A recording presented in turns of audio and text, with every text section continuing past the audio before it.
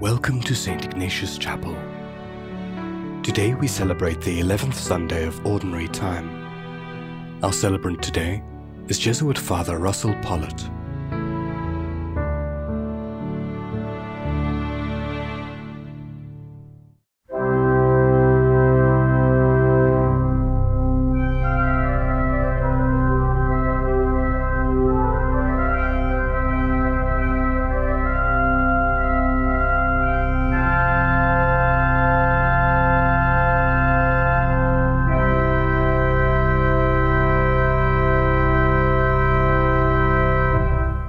Father, and of the Son, and of the Holy Spirit. Amen. The grace and the peace of our Lord Jesus Christ, the love of God, and the communion of the Holy Spirit be with you all. And with your spirit. Today we move back into ordinary time after the Easter season and a number of different feasts. We come back to the ordinary time of the year, and our liturgical color is green, a time for reflection and growth on the many parables that Jesus tells us. We come before the Lord knowing that we are sinful, that we are weak. Let's pause, asking Him for mercy and forgiveness. You were sent to heal the contrite of heart. Lord, have mercy. Lord, have mercy. You came to call sinners. Christ, have mercy. Christ, have mercy. You are seated at the right hand of God the Father Almighty, where you intercede for us. Lord, have mercy. Lord, have mercy. May Almighty God have mercy on us, forgive us our sins, and bring us to life everlasting. Amen. Glory to God in the highest, and on earth peace to people of good will. We praise you, we bless you, we adore you, we glorify you. We give you thanks for your great glory. Lord God, heavenly King, O God, Almighty Father, Lord Jesus Christ, only begotten Son, Lord God, Lamb of God, Son of the Father, you take away the sins of the world, have mercy on us. You take away the sins of the world, receive our prayer. You are seated at the right hand of the Father, have mercy on us. For you alone are the Holy One, you alone are the Lord, you alone are the Most High, Jesus Christ, with the Holy Spirit, in the glory of God the Father. Amen. And let us pray. O God, strength of those who hope in you, graciously hear our pleas. And since without you mortal frailty can do nothing, grant us always the help of your grace, that in following your commands we may please you by our resolve and our deeds. We ask this through our Lord Jesus Christ, your Son, who lives and reigns with you in the unity of the Holy Spirit, God for ever and ever. Amen.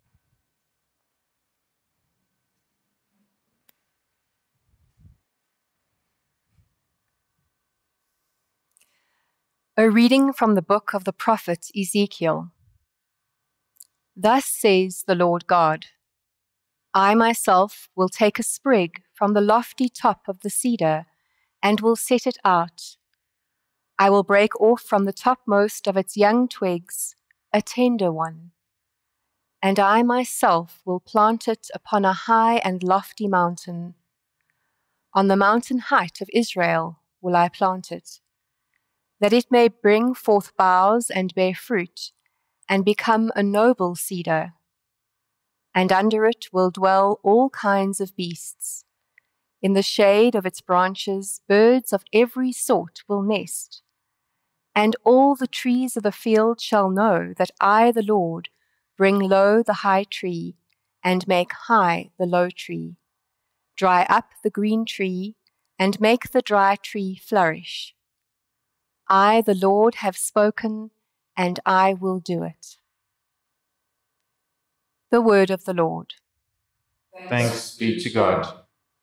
Our response It is good to give thanks to you, O Lord.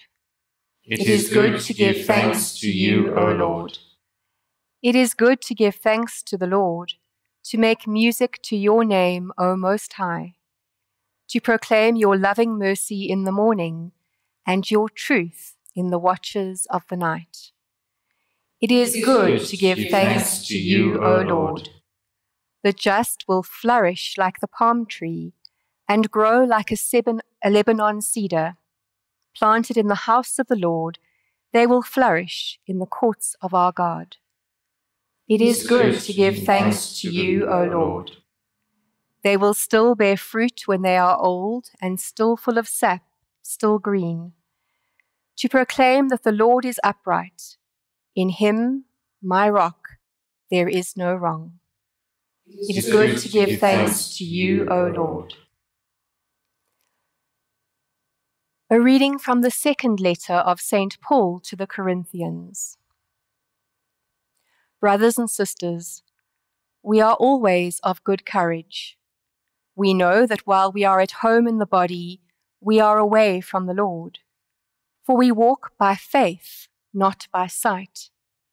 We are of good courage, and we would rather be away from the body and at home with the Lord. So, whether we are at home or away, we must make it our aim to please Him. For we must all appear before the judgment seat of Christ, so that each one may receive good or evil according to what he has done in the body. The Word of the Lord. Thanks be to God. Alleluia, Alleluia, Alleluia.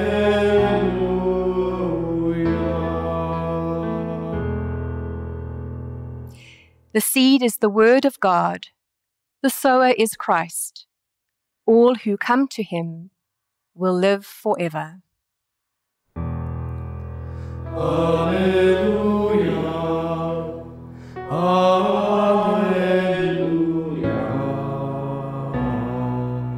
Alleluia.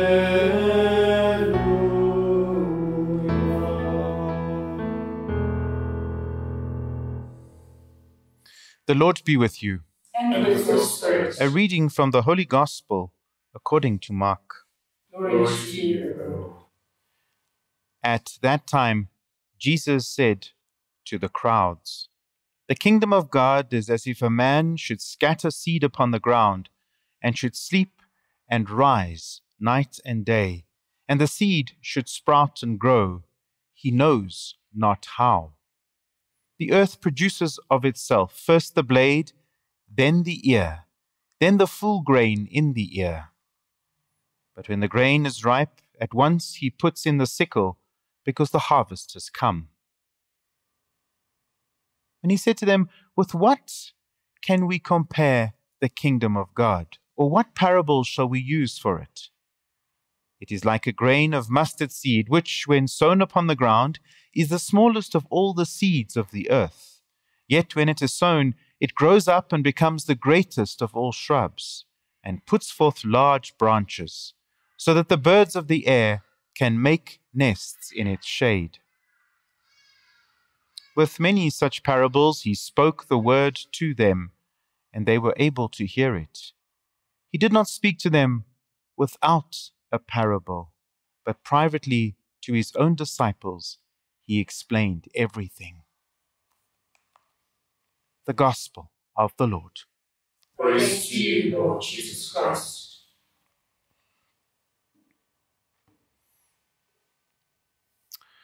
Very often, Jesus uses parables to teach. They are, in fact, 13 parables in the Gospel of Mark. And in a way, it seems to me, parables were the movies or Facebook or Twitter of Jesus' time. You see, Jesus was skilled at using parables. He didn't invent parables. The rabbis had long used them to teach and explain things to people to drive the point home. But Jesus inherits a very memorable tradition. It's visual and also contains a moral lesson. And so, just as we are so familiar with social media, with Facebook and Twitter, Jesus' own hearers would have been very familiar with the use of parables. And because most of the people in Israel in Jesus' time were farmers, he used analogies from that world, from the farming world. And that's how Jesus tries to explain to his own hearers what the kingdom of God is like and how this kingdom comes about. I want to suggest today that there are three things that we can reflect upon if we listen carefully to the parable we have just heard. You know, so often we are impressed by the glitz, by what is big, by what is large. We tend to despise what is small and unseen. We think that it is insignificant. We tend to think that the little things that we do are insignificant. And it is only those who are in powerful positions or find themselves often in the media that do important things. And yet, Jesus in this parable reminds us that the small things that we do day to day can bring about much bigger things. Like a big building. Just look at any big building that's being built. It starts by putting one small brick upon another. And therefore, it's not necessarily those who seem to hog the media space that are doing the significant things, because very often that only lasts a while and it disappears. But rather, it's those who daily build slowly who ultimately do what is most significant. Seeds need darkness, they need isolation, they are covered by the earth to germinate something small, something hidden, something anonymous, so to speak, has got tremendous potential and power.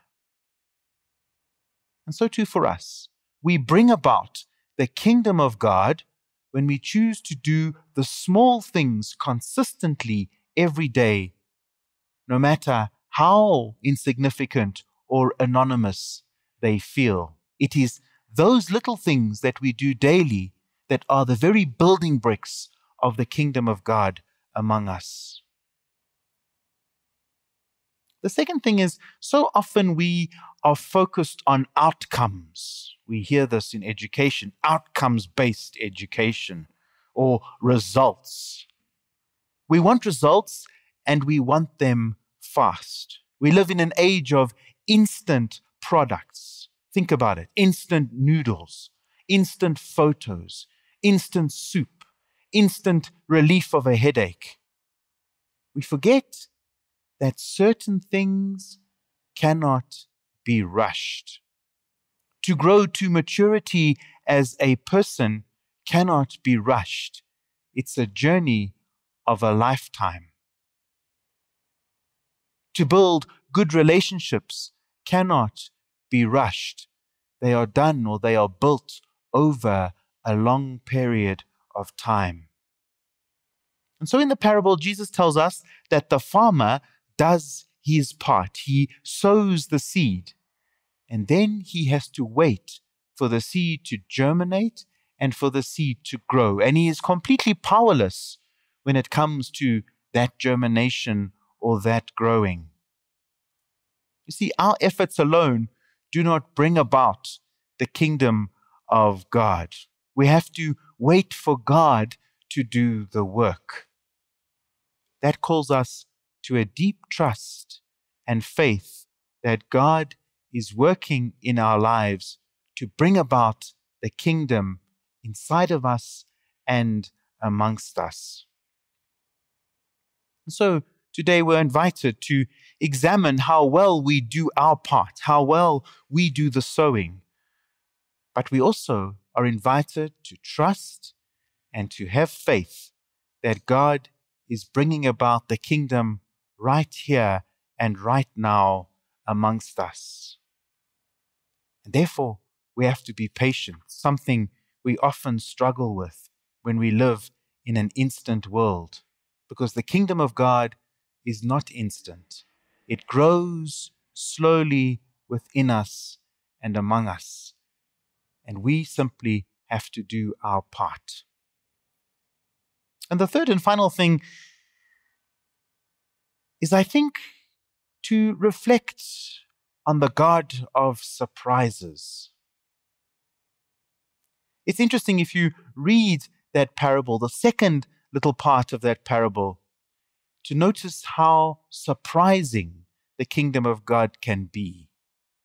Jesus surprises us when he tells us about the kingdom of God. You see, very often, so often, we think we have the kingdom of God all worked out. We think that we can do some sort of mathematical sum, that we simply have to do something and this will be the result. And this is not how the kingdom of God works. Jesus tells us that small little seed grows to be one of the biggest shrubs. Who would have thought that a small seed can become one of the biggest shrubs? And therefore, we have to constantly be conscious of being open to the God of surprises and not thinking we have the kingdom all worked out. We have the way that God operates all worked out. Because when we do that, it's not the God of our fathers, Abraham and Isaac, that we believe in, but rather a God that we have constructed for ourselves. And therefore, Jesus invites us, he invites those who hear that parable to be open to whatever surprises God gives us. Catholics, especially, sometimes think that we have the insider view. Somehow we have it all, we know it all. There's that story that I'm sure many of you have heard of St. Peter giving somebody a tour of heaven. And they pass a huge gate and they're not walking in Sandton. Remember, this is heaven. And someone asks, Who's inside there behind that gate? And St. Peter says, Shh, that's the Catholics. They think that they are the only ones who make it into this place. It's dangerous to think we have the kingdom of God all tied up. The kingdom of God is always bigger, it is always more than we think. And so, in this parable, Jesus invites us to an openness to the God of surprises who will always do things differently to the way that we think. Let's pray today as we celebrate this Eucharist together, as we move back into ordinary time, that this parable of Jesus will help us to see that it is in the small beginnings that great things start, that it is through our deep faith and trust in God, our patience, after doing our part, that everything else is at God's initiative. And let's pray for the willingness and the openness to the God of surprises, who always wants to drop something we don't expect into our laps.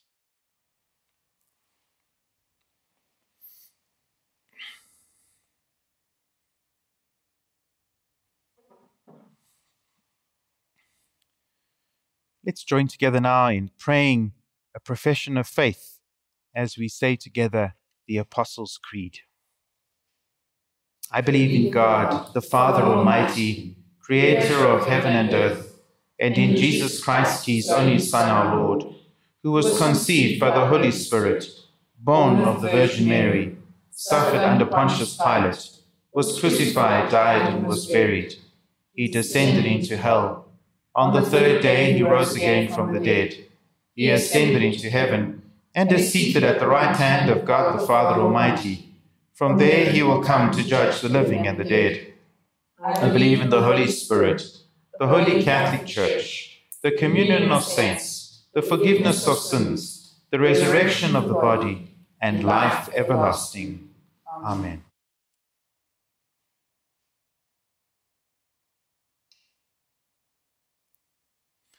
God's word has been spoken to us through the scriptures, and now we bring before the Lord all our needs. For eyes to see how God works in small things. That God will help us to see that it is in the small things we consistently do for the common good that we bring about the kingdom of God in our midst. Lord, hear us. Lord, graciously hear us. For openness to God's activity in our lives. That God, through the power of the Spirit, would help us be open to the daily surprises God offers us, to help us see that God's kingdom is always bigger than we think or imagine. Lord, hear us. Lord, graciously hear us. For unity in the human family. That God will awaken within us a spirit of fraternity and help us to cooperate with all peoples, races, and faith traditions in combating disease, poverty, and injustice. Lord, hear us. Lord, graciously hear us. For all who are ill, that God will touch the sick and return them to wholeness, free the human family from the coronavirus, and speed the distribution of vaccines. Lord, hear us. Lord, graciously hear us.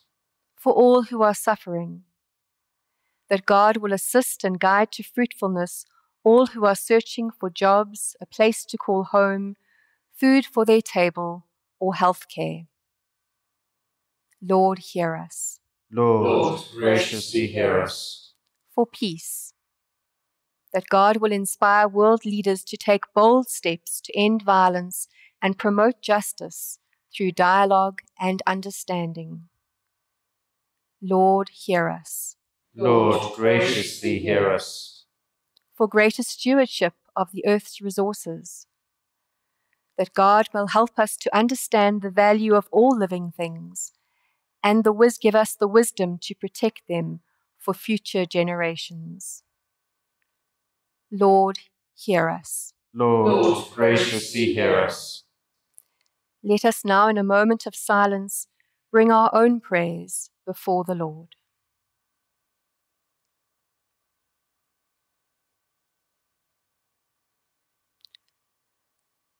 Lord, hear us.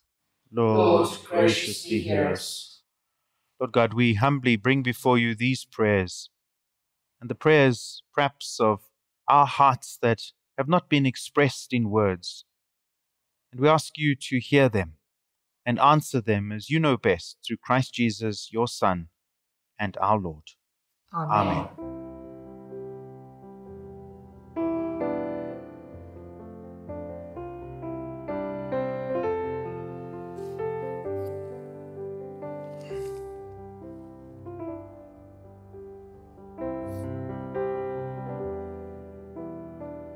Blessed are you, Lord God of all creation, for through your goodness we have this bread to offer, fruit of the earth and work of our human hands. It will become for us the bread of life. Blessed be God forever.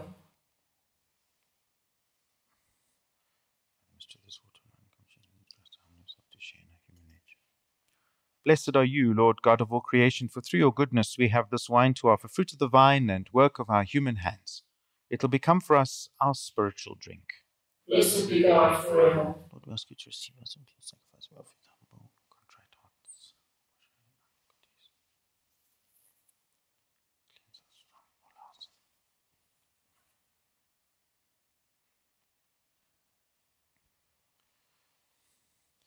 Let's pray, sisters and brothers, that our sacrifice and the sacrifice and efforts of our lives may be acceptable to God, the Almighty Creator. May the Lord accept the sacrifice at your hands for the praise and the glory of God's name, for our good and the good of all his holy church. O God, who in the offerings presented here provided for the twofold needs of human nature, nourishing us with food and renewing us with your sacrament, grant, we pray, that the sustenance they provide may not fail us in body or in spirit. We ask this through Christ our Lord. Amen.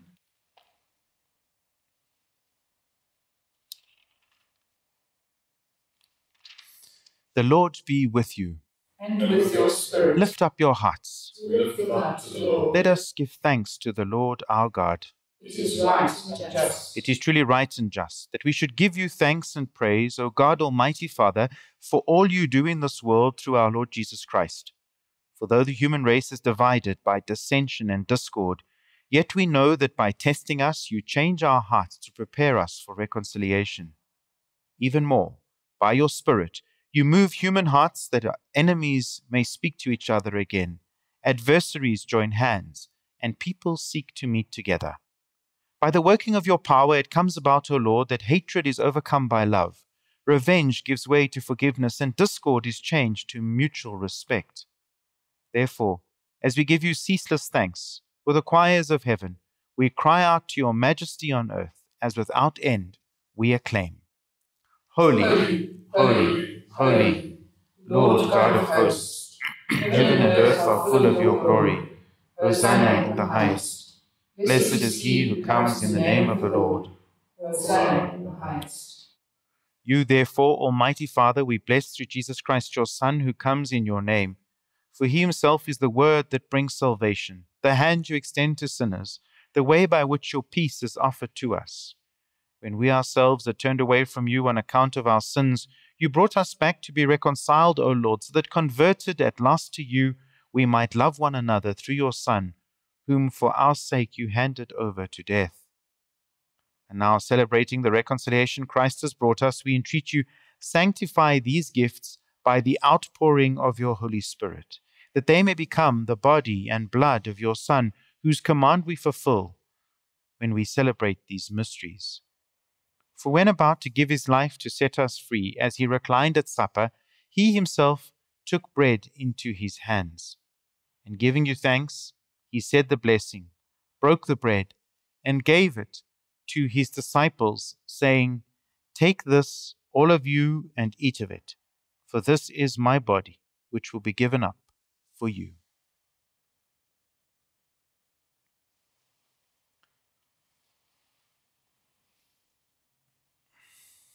In a similar way, on that same evening, he took the cup of blessing in his hands, and confessing your mercy, he gave it to his disciples, saying, Take this, all of you, and drink from it, for this is the cup of my blood, the blood of the new and eternal covenant, which will be poured out for you and for all for the forgiveness of sins. Do this in memory of me.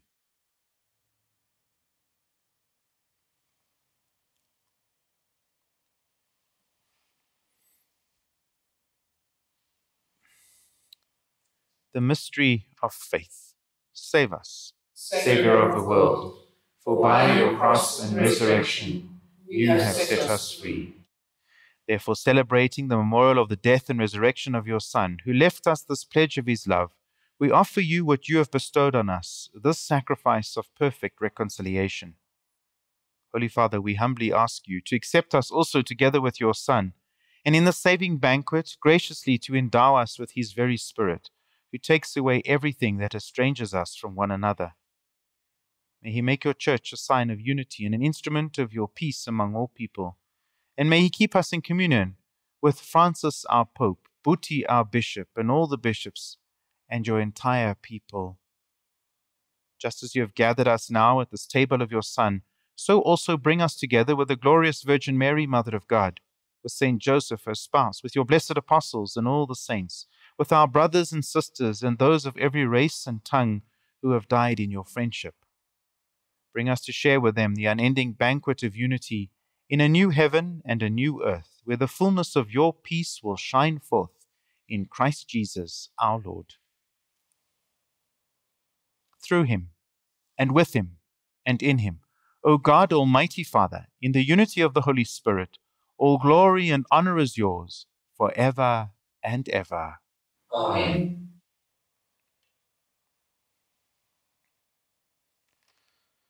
The Lord Jesus taught us to call God our Father, and so we pray. Our Father, who art in heaven, hallowed be thy name. Thy kingdom come, thy will be done on earth as it is in heaven. Give us this day our daily bread, and forgive us our trespasses, as we forgive those who trespass against us.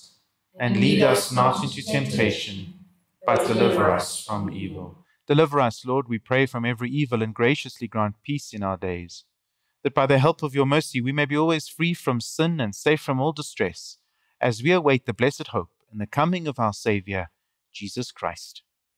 For the kingdom, the power, and the glory are yours, now and forever. Lord Jesus Christ, who said to your apostles, Peace I leave you, my peace I give you. Look not on our sins, but on the faith of your church, and graciously grant her peace and unity in accordance with your will, who live and reign for ever and ever. Amen. The peace of the Lord be with you always. And with your spirit. Let's take a moment now to pray for peace or to offer peace to those around you, that the Lord would give us peace in our own hearts, in our families, in our country, and in all those places where there is no peace in our world.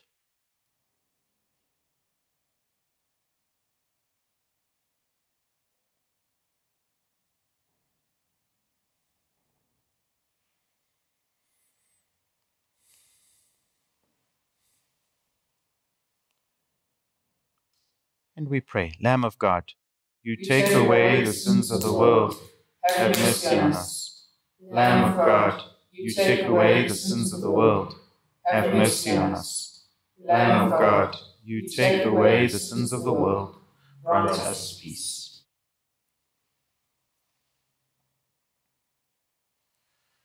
Behold Jesus, the Lamb of God.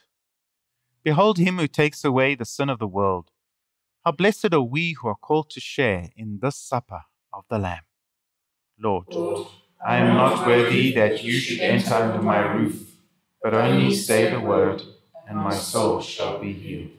Body and blood of Christ bring us to life everlasting. Amen.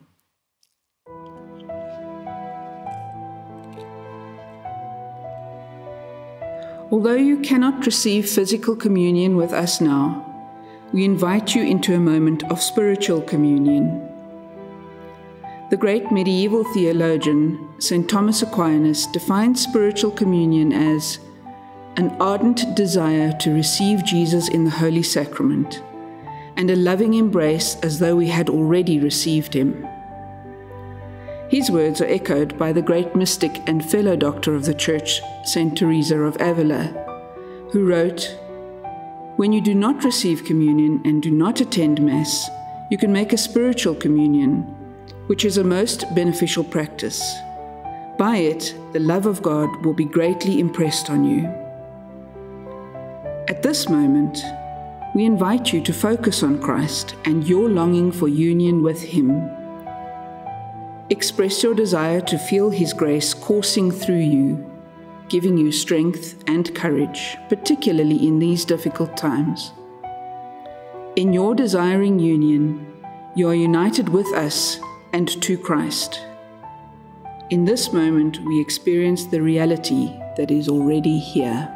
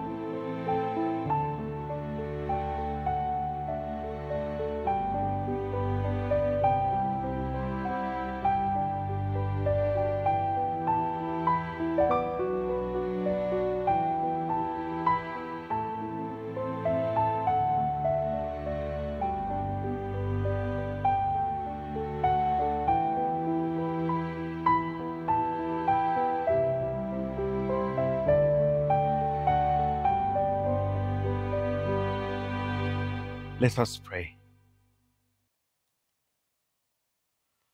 At this reception of your Holy Communion, O Lord, you foreshadow the union of the faithful in you, so may it bring about unity in your church. We ask this through Christ our Lord. Amen. There are people who join us from all over the world for uh, the celebration of the Eucharist on a Sunday, and a significant group uh, from Zimbabwe who have been in touch with me. So I thought that I would just uh, greet, especially those today who have been in touch uh, from Zimbabwe. The Lord be with you. And with your spirit. May Almighty God bless you, the Father, and the Son, and the Holy Spirit. Amen. Go now in peace, glorifying the Lord by your life. Thanks be to God.